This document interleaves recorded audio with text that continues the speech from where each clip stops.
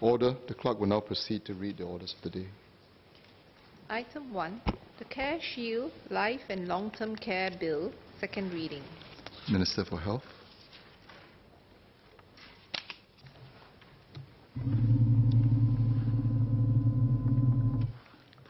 Mr. Speaker, I beg to move that the bill be now read a second time. Population aging is a global phenomenon, and for Singapore, the good news is that we are living longer, and many of our seniors live fulfilling and active lives well into their silver age. However, aging also comes with related illnesses and disability. To enable more of our seniors to age well with dignity and purpose, we need to prepare ahead of time. We need to look at how we can better organize social and health care, how we can enable our seniors to stay healthy, age in place, and continue to contribute to the community, and how we can support them in their medical and long-term care needs. We have made significant progress in these areas over the past few years.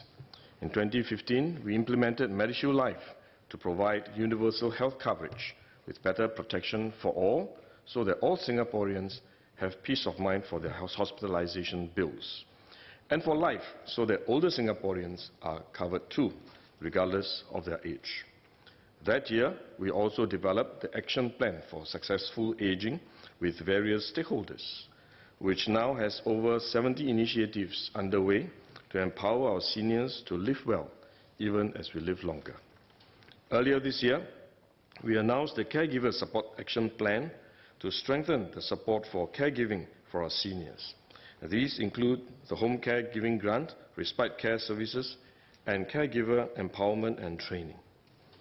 More recently, we introduced the Merdeka Generation Package to thank the Merdeka generation for their contributions to Singapore and provide more support for their healthcare and long-term care needs in their civil years.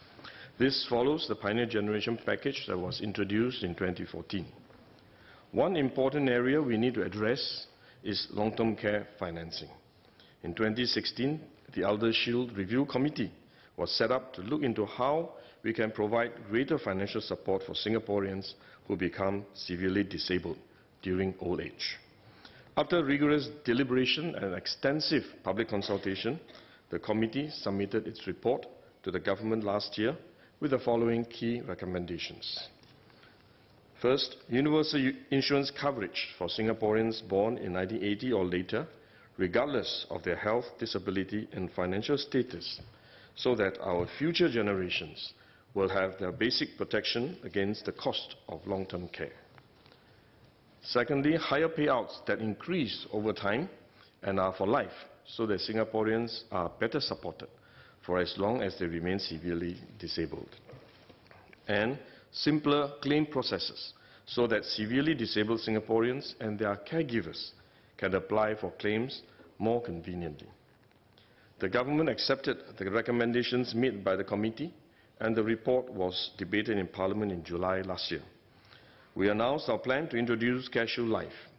The risk-pooling approach through the universal insurance coverage for CareShield Life reflects our desire to nurture an inclusive and caring society. I'm glad that we had received support from members of this House. Once again, I would like to thank the committee for their work. Financing our long-term care is a shared responsibility. We come together as a society to pool our risks through insurance, CareShield Life and elder ElderShield to address the variability of long-term care costs. Individuals and their families also play a part through their own savings. And the government provides significant support through subsidies and assistance schemes, particularly toward the lower income. All these three pillars are essential. Insurance, savings and government support. And achieving the right balance among them is crucial in keeping our system inclusive, affordable and sustainable. Therefore, in addition to strengthening insurance, we have concurrently reviewed how other financing sources of long-term care can complement CareShield Life and ElderShield to better support Singaporeans with disability. We will enhance government support for long-term care through the establishment of Elder Fund in January 2020.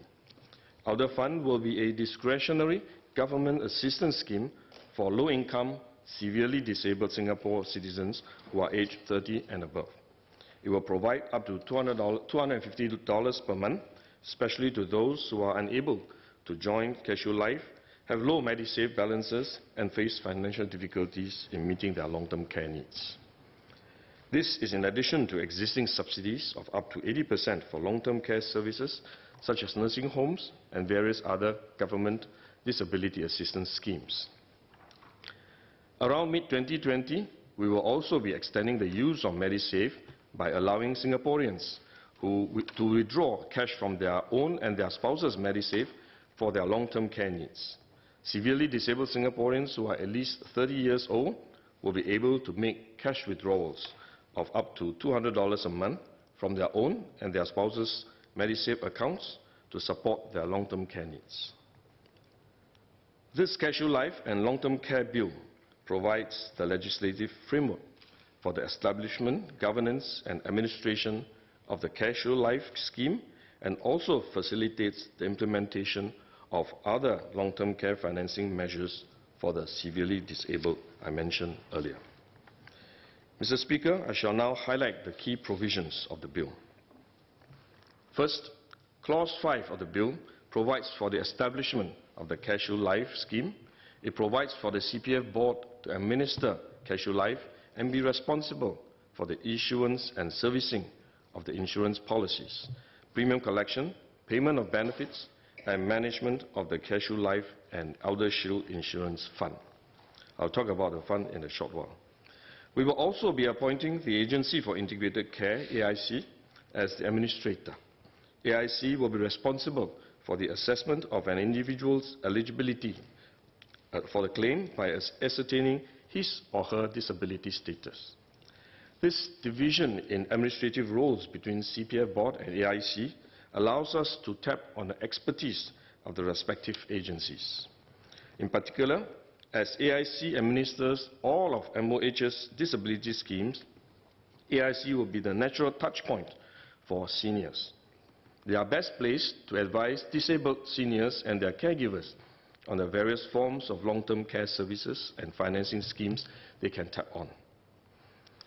Clause 6 of the bill defines the groups of individuals that will be covered under the CareShield Life scheme. In line with our vision for inclusivity, the scheme will apply to all Singapore citizens and permanent residents born on 1st January 1980 or later.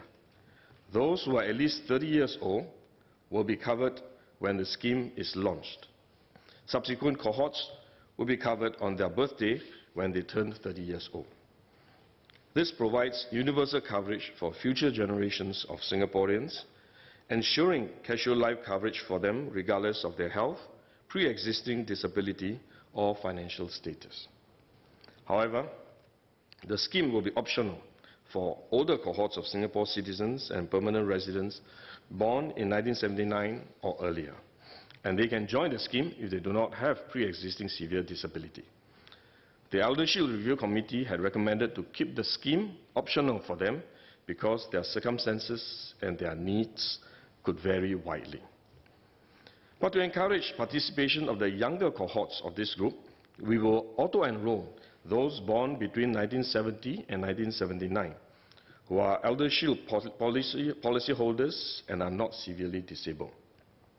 This makes it more convenient for them to join, and they can still choose to opt out before 31st December 2023 if they wish to do so. So they will be auto-enrolled, but they have an option to opt out of the scheme, and they can do so up to 31st December 2023.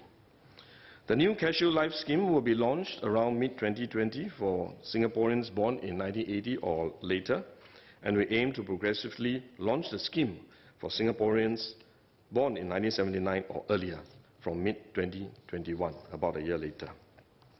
The bill also provides for CareShield Life to cover all individuals who become Singapore citizens or permanent residents after the scheme commences. These are the new citizens or new PRs. This way, all new SC Singapore citizens and PRs will participate in this national scheme and benefit from better support for their future long-term care needs, just like all Singapore citizens and permanent residents today. The only exception is if they are born in 1979 or earlier, the older uh, uh, SCs and PRs, and are severely disabled. Like Singapore citizens and PRs in those cohorts who are already severely disabled at the launch of CareShield Life, they will also not be allowed to join the scheme. Next, let me touch on ElderShield. Part 3 of the bill provides for government administration of the ElderShield scheme. As announced earlier this year, we are transferring the ElderShield scheme, which is currently administered by private insurers, to the government. This will be done in mid-2021, together with the launch of CareShield Life for older Singaporeans born in 1979 or earlier. The transfer allows ElderShield to be administered on a not-for-profit basis, with CPF Board and AIC as the government's key administrators. This will facilitate a smooth upgrading from ElderShield to CareShield Life for those who choose to do so. This bill will disapply the Insurance Act to the transfer, as otherwise the ElderShield portfolios cannot be transferred to the government because the government is not included in the definition of transferee in the Insurance Act.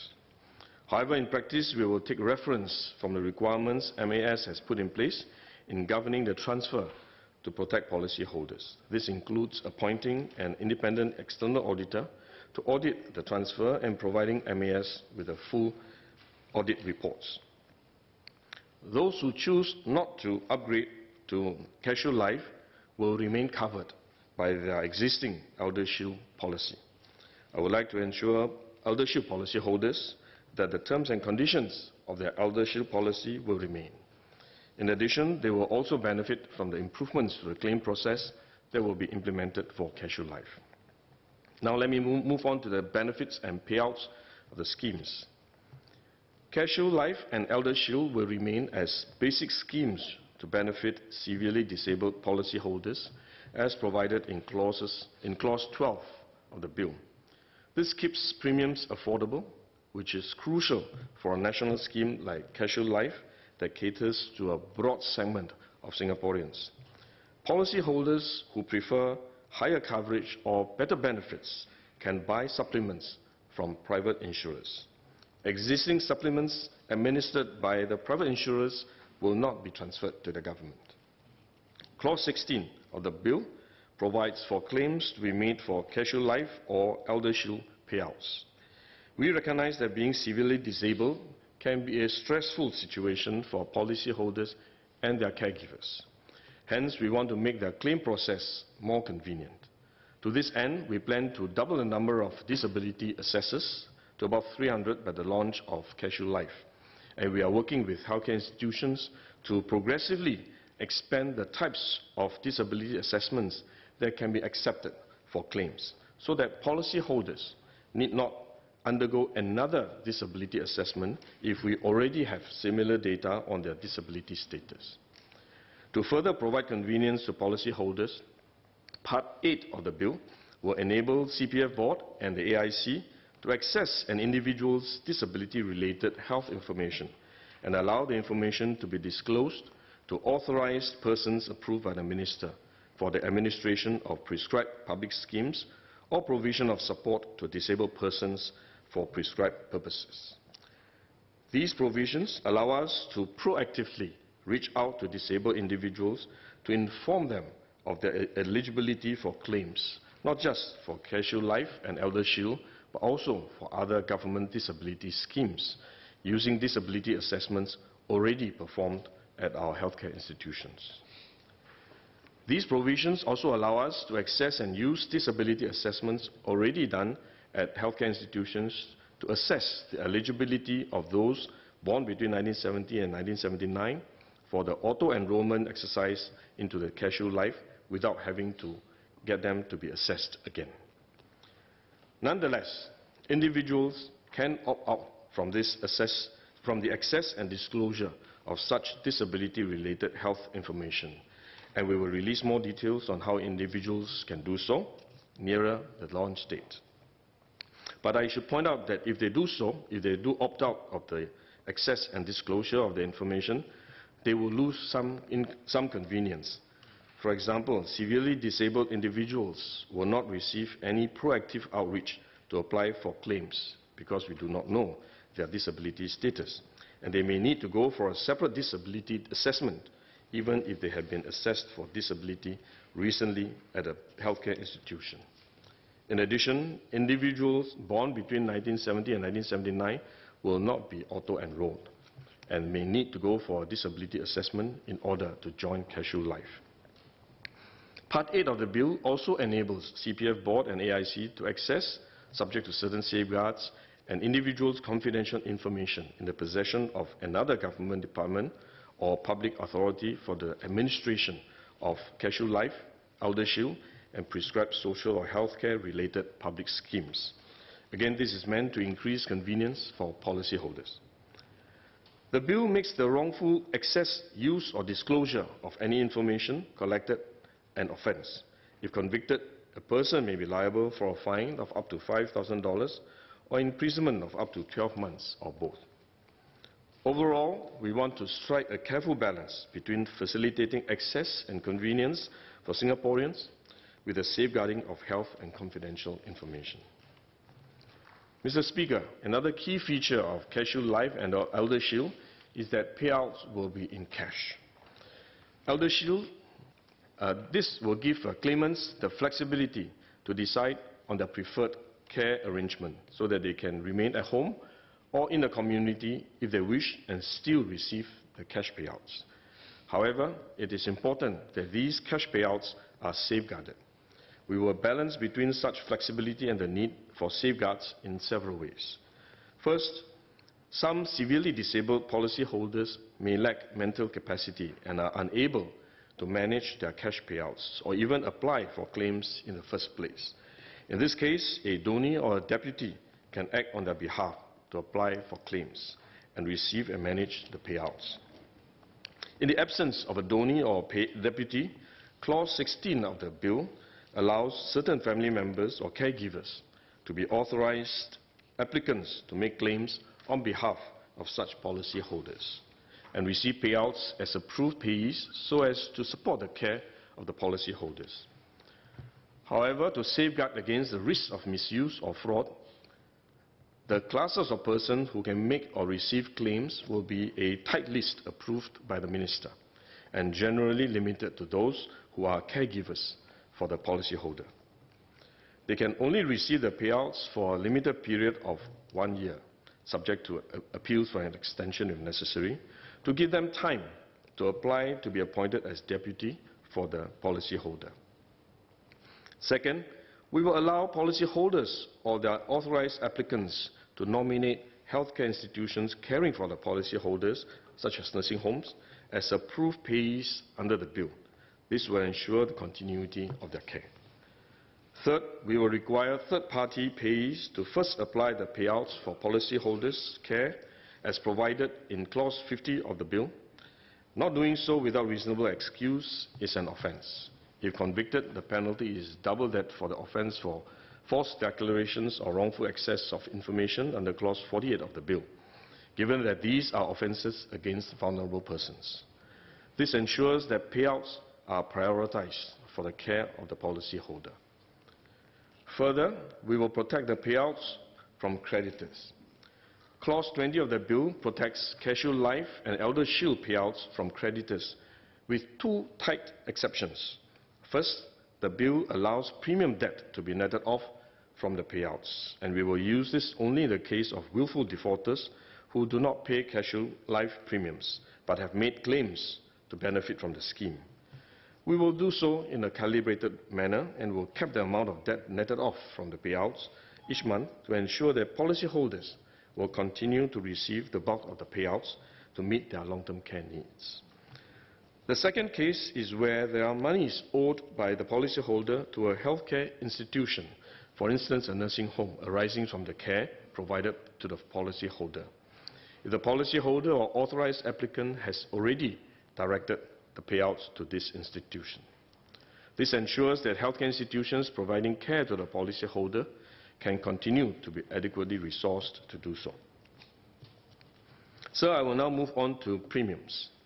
Clause 14 requires the CareShield Life and ElderShield policyholders pay their premiums in a timely manner.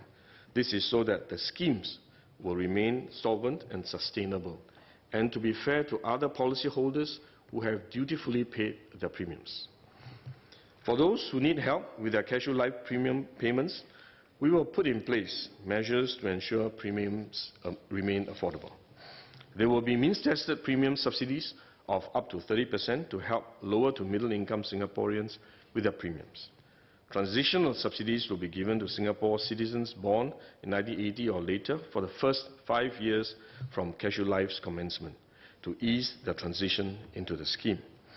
For Singapore citizens born in 1979 or earlier, they will be given participation incentives of up to $2,500 if they join CareShield Life in the first two years after the scheme is available for sign-ups from mid-2021. This is to encourage early participation in the scheme.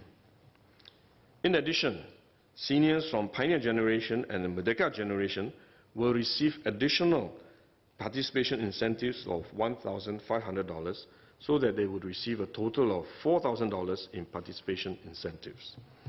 The participation incentives will be netted off their premiums payable over a period of 10 years, thereby reducing the amount of premiums that the policyholders will need to pay. Policyholders who need further help with their CareShield Life premiums, even after premium subsidies and support measures, can receive additional premium support. This is similar to MediShield Life and it's the government's commitment to ensure that premiums remain affordable and that no one loses CareShield Life coverage due to his or her inability to pay. However, there may be a small group of willful defaulters who refuse to pay their CareShield Life premiums despite having the means to do so, even after reminders have been sent to them. Any CareShield Life premiums defaulted that cannot be recovered is a burden that will be shouldered by other policyholders in the form of higher premiums eventually. To be fair to the other policyholders, we need to take a strict stance against these willful defaulters. Therefore, Part 7 of the bill provides for a premium recovery framework that is similar to the approach for MediShield Life. Penalties and interest can be imposed on outstanding premiums, and we intend to similarly appoint RIS as a recovery body to recover outstanding premiums. Let me reiterate that for those who genuinely need help, we will help them with the premium payments. For ElderShield policyholders who do not pay their premiums, their ElderShield cover will lapse after, the grace period, similar to their current terms and conditions. Premiums collected under the CareShield Life and ElderShield will flow into the CareShield Life and ElderShield Insurance Fund that will be established by Clause 35 of the bill. The insurance fund will be a self-sustaining fund supported by the premium collected under both schemes. The CareShield Life and ElderShield Insurance Fund will be managed by CPF Board in a not-for-profit manner for the benefit of policyholders. The insurance fund monies can only be used for policyholders' benefits and scheme administration. The government or CPF board as a fund administrator cannot remove any fund monies for its own use except for the cost of operating the scheme. Let me now touch on the issues of governance. I want to assure Singaporeans that there are safeguards in place to ensure proper scheme governance for both CareShield Life and ElderShield. These include safeguards over the scheme parameters and administration, the collection of premiums and payment of claims, and management of information. Let me elaborate. First, the governance of scheme parameters and administration will be overseen by an independent CareShield Life Council to be appointed by the Minister under Clause 37 of the Bill. The Council will review and make recommendations on policy and scheme parameters to ensure that the schemes provide protection for Singaporeans in an affordable and sustainable manner. This includes reviewing CareShield Life's premiums and payout increases beyond 2025. For the first five years of CareShield Life's implementation until 2025, both premiums and payouts will increase at 2% per year. Adjustments thereafter will be reviewed by the Council. In addition, the Council will review the administration of the schemes and advise on matters related to the investment of CareShield Life and ElderShield Insurance Fund. The Council will be appointed by the time the CareShield Life scheme takes effect.